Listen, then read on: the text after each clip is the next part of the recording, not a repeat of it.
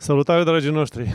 Bine v-am regăsit și prin harul și bunătatea lui Dumnezeu pe care El și-o arată astăzi față de tot pământul și indiferent de ce are loc în jur și de nelegiuirile care au loc uh, pe, pe toată fața pământului, totuși El s-a îndurat de pământ deja și a început să-și reverse bunătatea Lui prin faptul că își descoperă adevărul legii sale, care va fi instaurat pe tot pământul și astfel a, slava lui, prezența lui și numele lui va fi singurul nume, a, o singură prezență, o singură lege, o singură cale și astfel a, se va împlini ce a, a promis Dumnezeu și prin Daniel și prin toți prorocii cu referire la împărăția lui. Astăzi vorbim despre continuăm să studiem poruncile Domnului din capitolul 6 de la Levit și vom studia o poruncă care vorbește despre învățăturile începătoare și mâncarea tare. Toată legea lui Dumnezeu este absolut extrem de înțeleaptă și perfect. Înțelesul corect al legilor și poruncilor lui Dumnezeu este mai prețios decât tot aurul curat, cum spune și psalmistul, și decât toate celelalte alte bogății. Ele au capacitatea și menirea chiar să creeze omul după chipul și asemănarea lui Dumnezeu numai în felul acesta și să creeze societatea care se numește Împărăția lui Dumnezeu. Prin proroci și apostoli, Domnul Jehova pune temelia credinței noastre. Mai că aceste învățături se mai numesc învățături începătoare. Cu ele începe calea de credință. Ele niciodată nu trebuie să diminueze din viața noastră. Valoarea lor rămâne aceeași în vecii vecilor. Despre aceasta vorbește poruncă despre care vom vorbi astăzi. A, este o poruncă mai greu de înțeles de la început, dar slavă Domnului că El, încetul cu încetul, descoperă și nouă generația acestea atât de departe fiind de mm, înțelesul spiritual a, a poruncilor lui Dumnezeu. Iată Levit, capitolul 6, versetele 8 și 9, nu tot capitolul astăzi, nu până la urmă, dar despre porunca aceasta numai. Jehova a vorbit lui Moise și a zis, de următoarea poruncă lui Aron și fiilor săi și zi. Iată Tora, legea, ardere de tot. Ardere de tot să rămână pe vatra altarului toată noaptea până dimineața și în felul acesta focul să ardă pe altar. Din nou, țineți minte ca să ne setăm cumva de la început, nimic din acestea nu este vorbit în direct sens. Totul este în înțeles spiritual. Totul are simbolurile lor. De asemenea, trebuie să ținem minte că acestea sunt poruncile Domnului Jehova. Ele nu sunt opționale. Practicarea corectă a lor, a, numai în felul acesta, vor produce celea pentru ce Domnul ne le dă practicarea corectă, fiindcă dacă le aplici în felul a, direct, el nu va produce a, acel efect sau acel rezultat pe care Domnul a, l-a menit ca să aibă ca rezultat. Porunca de astăzi este cu privire la arderea de tot. Ea este dată preoților. Preoții, cei care se consideră sau care sunt chemați să fie a, preoți a, în înțelesul duhovnicesc, ei trebuie să înțeleagă și să aplice și să învețe pe alții și să ajute pe alții cu referire la porunca aceasta. Toți credincioșii trebuie să-i aducă Domnului o ardere de tot în măsura posibilității personale. De exemplu, luăm de la începutul Levit, din capitolul 1. Credinciosul care dorește să se dedice Domnului ca slujitor, arderea lui de tot, de vițel, dacă țineți minte, diferă decât arderea de tot a celorlalte jertfe. Credincioșii care doresc să se dedice Domnului cu un, ca un fruntaș în adunare, fie diacon, fie ca prezbiter, fie într-un alt rol de frunte, ei aduc ardere de tot un berbeș sau un țap, însă arderea lor de tot se diferă de a preoților și de a celor de mai jos. Urmează arderea de tot de oi sau capre, după ele urmează arderea de tot de porumbel sau turturele și ultima este arderea de tot de pâine. Și toate ele între ele diferă. Uh, niciuna nu este asemen, asemănătoare cu celălalt. Toate aceste arderi de tot sunt cu referire la credincioși cu diferit nivel de dedicare spirituală. Că vorbim de oameni și o, o, o aplicare a poruncilor, legilor a, a lui Dumnezeu în viața lor și cum ele se manifestă um, în dependență de cum le-a înțeles și cum doresc să le manifeste. Toate arderile de tot sunt aduse numai la altar. Numai acestea se consideră ardere de tot. Altfel, tu poți să, să zici că te-ai dedicat Domnului într-o slujire oarecare, dar nu va fi o ardere de tot și Domnul nu va privi aceasta ca o slujire lui. Altarul este învățătoră care are ca rol de mijlocitor între om și Dumnezeu. Este prima etapă a credinței adevărate, o credință duhovnicească și nu firească. Altarul și tot ce este în jurul lui. Aceste învățături se mai numesc învățături începătoare. Cu alte cuvinte, învățăturile despre jertfele corban, ca ardere de tot, despre altar, focul de pe altar, lemnele de pe altar, coarnele altarului, temelii altarului, sângele vărsat pe altar și pe perete sau la temelia altarului, a, jertfele puse pe focul altarului. Toate acestea și altele a, sunt învățături duhovnicești care fac parte de învățăturile începătoare a, în calea de credință a credinciosului. Haideți să ne uităm. Evrei 5. Asupra celor de mai sus și țineți minte, apostolul mai sus vorbește despre marele preot și începe să explice unele lucruri mai grele de înțeles sau mai greu chiar de interpretat, dar mai degrabă mai greu de acceptat pentru mulți. Și el zice, asupra celor de mai sus avem multe de zi și lucruri grele de tâlcuit, fiindcă v-ați făcut greoi la pricepere. În adevăr, voi care de mult trebuia să fiți învățători deja. El se pune în comparație cu ei. Aveți iarăși trebuință de cineva să vă învețe cele din tâi adevăruri ale cuvintelor lui Dumnezeu, cele din tâi da, adevăruri. Și ați ajuns să aveți nevoie de lapte și nu de hrană tare. Și oricine nu se hrănește decât cu lapte, nu este obișnuit cuvântul despre neprihănire, adică Cuvântul despre neprihănire este mâncare tare, căci este un prunc. Dar hrana tare este, adică despre neprihănire este pentru oameni mari, pentru aceia care o judecată să deprins prin întrebuințare, ce ce am învățat până acum, să deosebească binele și rău. Și nu este vorba de oricare bine și rău, că, că aceasta oricine poate să-l facă. Apostolul Pavel zice că acești credincioși încă nu sunt gata să judece lucrurile grele din lege. Apostolul nu învăța din altă parte. Ei au fost pasivi. De ce? Adică nu erau gata, fiindcă au fost pasivi în cuvânt și în aplicarea cuvântului și practicarea lucrurilor pe care le-au, le-au primit. De aceea au rămas încă la etapa începătoare, incipientă a credințelor. Ei s-au adus pe sine la altar, sau ca niște arderi de tot independență de fiecare, așa după forma cum o descrie Apostolul Pavel la Romani 12, însă nu au progresat în cuvânt și în practicarea credinței lor, de aceea au rămas acolo. Ca urmare, acești credincioși nu numai că nu au progresat, cum, cum explică și apostolul, ci chiar au regresat în mersul lor spiritual.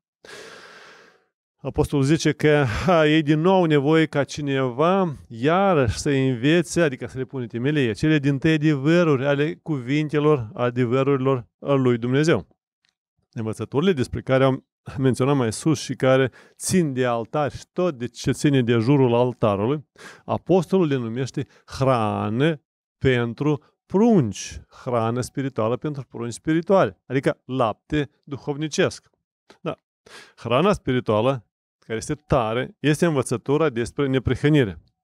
Însă foarte, foarte important este să înțelegem și crucială este aceasta, că învățătura despre neprihănire se descoperă exclusiv numai din lege, adică trebuie să um, singur să începi să mănânci hrana din lege și numai în Duhul lui Hristos, adică nu cum învățau uh, unii. Apostolul Petru zice despre această învățătură lepădați dar orice răutate, orice vicleșug, orice fel de prefăcătorie, de pisme și de clevetire. Adică aceasta este până ajungi la altar. Este o calea până ajungi la altar. Și începi să te formezi într-un fel în înțeles duhovnicesc. Și ca niște prunci născuți de curând, deja într-un fel ai ajuns la altar, să dorești laptele duhovnicesc și curat, pentru ca prin el să crește spre mântuire, adică să nu rămâi întotdeauna pe altar. Acum vedem aceasta. Pruncii duhovnicești trebuie să dorească mereu laptele duhovnicesc. Și iată, dorința aceasta este focul care trebuie să ardă, este râvna pentru învățătura aceasta ca să o mănânci într-atâta ca să devină parte din ADN-ul tău ca să ajungă în stare mai apoi să se hrănească cu hrană tare, fiindcă dacă rămân aici, nu vor mânca cealaltă hrană. Iată ce zice Apostol Paul despre învățăturile începătoare. De aceea, să lăsăm adevărurile începătoare ale lui Hristos, adevărurile începătoare ale lui Hristos, și să mergem spre cele desăvârșite, fără să mai punem din nou temelia pocăinței, de faptele moarte și a credinței în Dumnezeu. Cu alte cuvinte, este de, din nou și Apostol Pavel începe cu calea aceasta până ajungi la altar, pe urmă se începe învățătura despre botezuri, deja ține de altar, adică mântuirea, a, salvarea, starea, focul care arde, lemnele pe altar, sângele acesta, jertfele, despre punerea mâinilor, despre învierea morților și despre judecata veșnică. Acestea sunt învățături începătoare, trebuie să fie pentru credincioși. Toate învățăturile începătoare sunt toate adevărurile pâine la altar și ce ține de altar. Toate acestea sunt învățături a, începătoare, adică pâine, a, toate ele sunt a, în perioada aceasta până la ușa cortului întâlnirii. Cu alte cuvinte, acești credincioși s-au adus pe sine, deja vorbim iar calea și au ajuns la altar, s-au adus pe sine ca arderi de tot și din nou în măsura după puterea fiecăruia. Însă încă nu au intrat în cort, fiindcă trebuie întâi să trece etapa aceasta ca să intre în cort. Învățăturile începătoare sunt temelia credinței. Fără aceste învățături nu este posibil să fii parte nici din poporul lui Dumnezeu. Și nu este posibil, evident, ca să crești la, spre mântuire, adică să ajungi da, deja să intri în cort. Aceste învățături niciodată nu trebuie abandonate, niciodată de nimeni. Credinciosul care încetinește în aceste învățături înseamnă că focul de pe altar a început să se stingă. Cel care s-a oprit în aceste învățături, care părăsește aceste învățături, înseamnă că focul s-a stins de tot și trebuie să înceapă în genere de la zero. Domnul Jehova poruncește ca ardere de tot să rămână pe altar toată noaptea până dimineața și focul să nu se stingă deloc. Cu alte cuvinte, credinciosul trebuie să rămână în aceste învățături tot timpul cât este noapte pentru el. Să rămână în aceste învățături tot timpul cât mai este noapte pentru el. Noapte pentru credincios este o stare în care nu vede lumina adevărului singur, nu descoperă singur. El are nevoie de de dacă, cum vorbesc apostolii. Aceasta mai înseamnă că el încă nu are parte de Duhul adevărului care să-l călăuzească în tot adevărul legii, evident. Acest credincios încă nu vede lucrurile duhovnicești în lege și nu le poate descoperi singur. Dimineața este atunci când răsare luceafărul sau steaua de dimineață. Apostolul Petru despre aceasta zice și avem cuvântul prorocii, fiți atenți, făcut și mai tare, la care bine faceți, că luați aminte, ca la o lumină care strălucește într-un loc întunecos, în perioada nopții, adică, până se va crăpa de ziua. Înțelegeți? Și va răsări luceafrul sau steaua de dimineață în inimile voastre. Cu alte cuvintele, cuvinte, învățăturile prorocilor, și mai adaug aici ce a spus Apostolul Pavel la Efeseni și apostolilor, luminează în perioada nopții, cât timp mai este întuneric în viața credinciosului, adică cât timp el încă nu are parte de Duhul lui Dumnezeu și când atâta timp cât el nu este călăuzit de Duhul în tot adevărul. Când vine ziua și răsare luceafărul de dimineață, adică când vine Duhul lui Hristos la credincios, el va începe, și din nou, nu dintr-o dată cum ne-am imaginat noi, dar va începe să vadă ca în timpul zilei, să descopere adevărul. Numai cu prezența Duhului lui Hristos, credinciosul începe să vadă adevărul cuvântului lui Dumnezeu. Decâtând la perioada de noapte, Domnul poruncește că acest credincios trebuie să rămână pe altar și focul să nu se stingă deloc. Adică să rămână în învățăturile prorocilor și apostolilor și focul să nu se stingă deloc. Adică râvna aceasta să rămână vie mereu, ca învățătura aceasta să devină parte din el. A, de fapt, lucrul care s-a produs și apostolul le scrie, la, care am citit de la Evrei 5, că ei nu au, focul acesta nu au ars continuu și ei s-au stins și iară aveau nevoie ca cineva să învețe învățăturile începătoare. Credinciosul, care s-a născut de curând, nu poate să vadă lucrurile Duhului lui Dumnezeu în cuvânt. Nu este posibil, nu a fost și nu va fi niciodată așa ceva. Este o stare normală, numai că dacă starea aceasta nu persiste continuu. Dacă credinciosul nu continuă să crească în cunoștințe și în credințe, în punere în aplicare ce a învățat, el va începe să adoarmă în credința lui și nu va putea să ajungă la neprihănire și ca urmare la mântuire. De aceea, fiecare trebuie să se analizeze pe sine și să-și înțeleagă starea. Slujitorul care se chema de Dumnezeu, ca slujitorul cuvântului lui Dumnezeu, și el trebuie să recunoască starea spirituală a credinciosului și, dacă e cazul, trebuie să-l ajute să-l ridice a, din oprirea sau din căderea lui, cum mai vorbesc și prorocii. La fel după cum le scrie și Apostolul Pavel celor din Evrei 5, că din nou aveți nevoie să cineva să, să vă înveți. Versetul 10, Domnul continuă și, vor, și poruncește. Preotul să se îmbrace cu tunica de in, să-și acopere trupul cu izmenile de in, Um, este o expresie tradusă în felul acesta, chiar dacă un pic diferit sună uh, în ebraică să ridice cenușa focul, făcută de focul care va mistui ardere de tot de pe altar și să o verse lângă altar. Toate acestea sunt simboluri care au însemnătate și au explicație.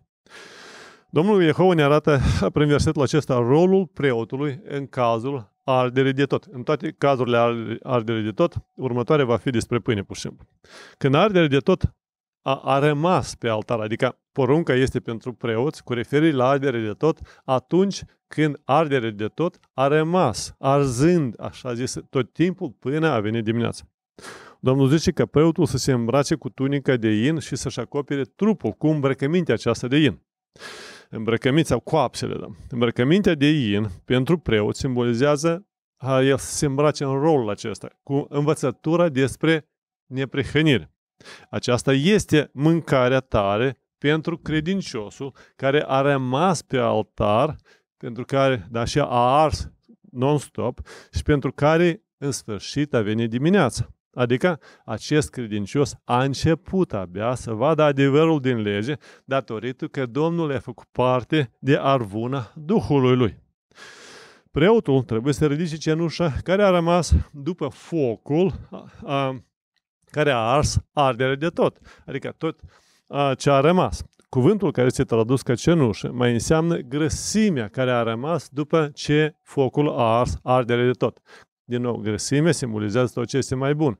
Adică preotul trebuie, într-un fel, tot ce a rămas, tot ce e mai bun, ce s-a, s-a lipit. De fapt, toată învățătura aceasta trebuia să se lipească de credincios ca să devină parte din el.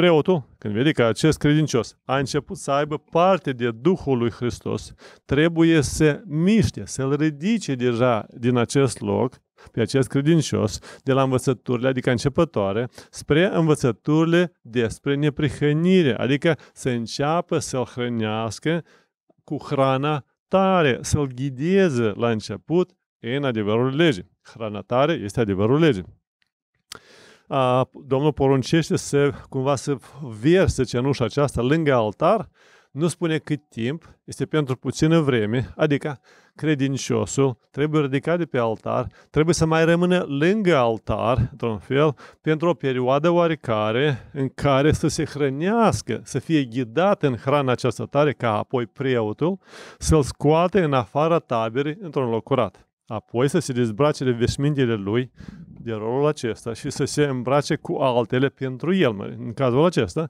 ca să scoată cenușa afară din tabără într-un loc curat.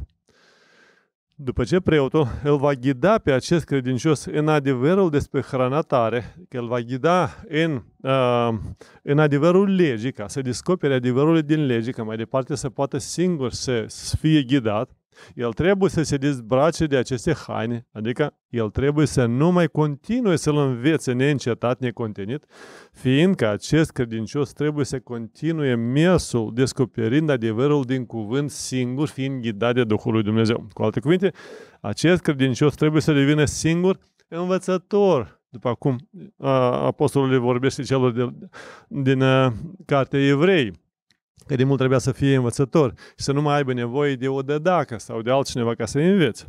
Preotul să se îmbrace cu alte haine, adică trebuie să ia un rol într-un fel, alte haine, a, practic sunt asemănătoare cu acelui care îl scoate în afară din tabără și să scoată pe acest credincios în afara taberei. Într-un fel, acest preot îl încredințează pe acest credincios în mâna Domnului.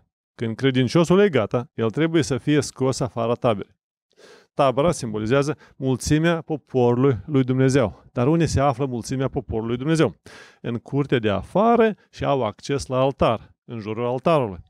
În afara taberei înseamnă în afara mulțimii credincioșului care se mai află încă la altar sau în jurul altarului.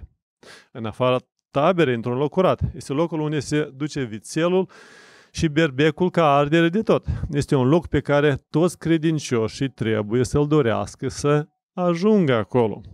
Așa se simbolizează o stare spirituală în care credinciosul este călăuzit de Domnul în tot adevărul și în viața lui Dumnezeu ajunge să fie totul în tot. Versetele 12 și 13 pentru astăzi și încheiem cu aceasta. Focul să ardă pe altar și să nu se stingă deloc. În fiecare dimineață, preotul să pună lemne pe altar, să așeze ardere de tot pe ele și să arde deasupra grăsimea jertelor de pace, nu de mulțumire. Focul să arde necurmat pe altar și să nu se stingă deloc. Preoții sunt responsabili ca focul să arde pe altar non-stop. Aceasta înseamnă că preoții sunt non-stop responsabili să mențină învățătura despre temelie credinței, să fie vie și mereu să o reamintească credincioșilor, așa cum vorbesc și apostolii, mai ales apostolul Petru. În fiecare dimineață preotul să pună lemne pe foc și să așeze alverea de tot pe ele.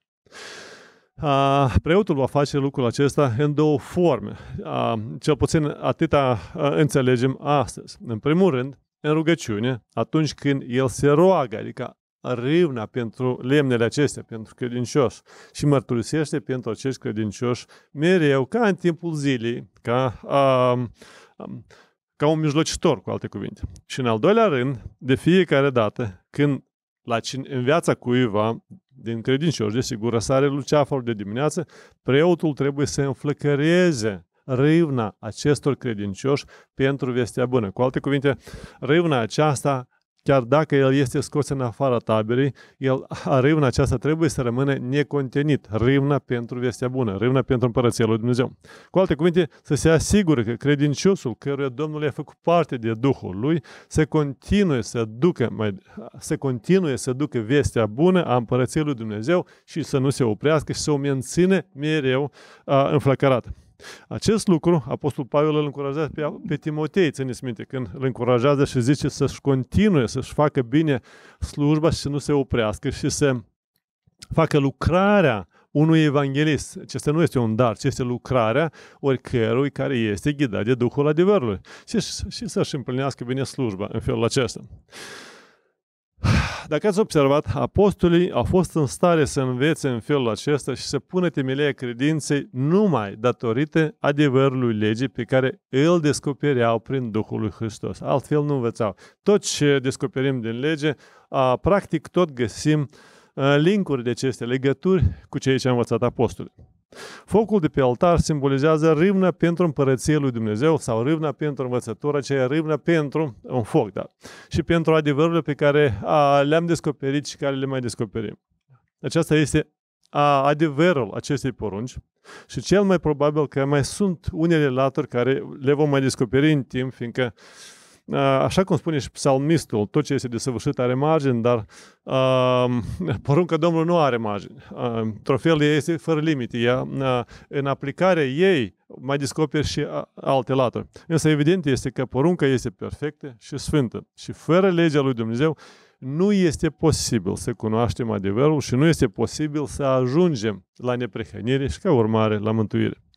Pe de altă parte, unii au făcut din legea lui Dumnezeu a, un bici și o pedică de poticnire, fiindcă au interpretat-o în felul lor firește cum sunt și nu după Duhul lui Hristos. Având ei Duhul lui Hristos, niciodată n-avea să o interpreteze în felul acesta.